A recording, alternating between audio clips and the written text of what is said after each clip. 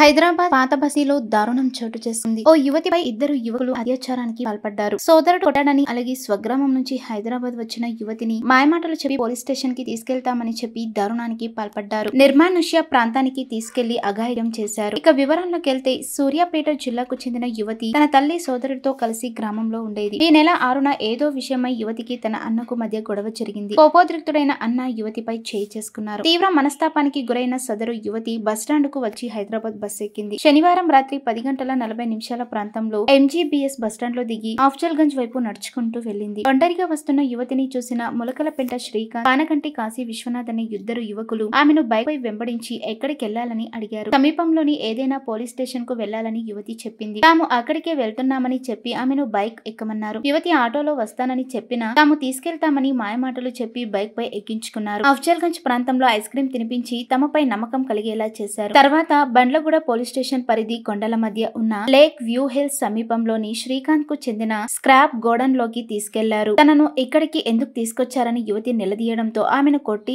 ఆపై అత్యాచారానికి పాల్పడ్డారు. మరో చోటికి తరలించేందుకు బైక్ పై తీసుకెళ్తుండగా బాధితురాలు బిగ్గరగా అరిచింది. స్థానికులు అలర్ట్ అవ్వడంతో నిందితులు ఆమెను అక్కడే వదిలి పరారయ్యారు. బాధితురాలు విషయాన్ని స్థానికులకు చెప్పగా వారు పోలీసులకు సమాచారం ఇచ్చారు. అఘాయిత్యం జరిగిన స్క్రాప్ గౌడన్ను పరిశీలించిన పోలీసులు బండ్లగూడ గౌస్ నగర్ వీకర్ సెక్షన్ కాలనీలో ఉండే మొలకల పెంట శ్రీకాంత్ని గుర్తించారు. వెంటనే పోలీసులు నిందితుడిని పట్టుకున్నారు. తాను అత్యాచారం చేయలేదని మొదట శ్రీకాంత్ బుకాయించాడు. ఆ తర్వాత నేరం ఒప్పుకున్నాడు. అతడిచ్చిన సమాచారంతో అఫ్జల్గంజ్ ప్రాంతంలో మరో నిందితుడు పానగంటి కాశీ విశ్వనాథ్ను కూడా అదుపులోకి తీసుకున్నారు. దర్యాప్తులో ఇద్దరు యువతిపై అత్యాచారానికి పాల్పడినట్లు వెల్లడించారు.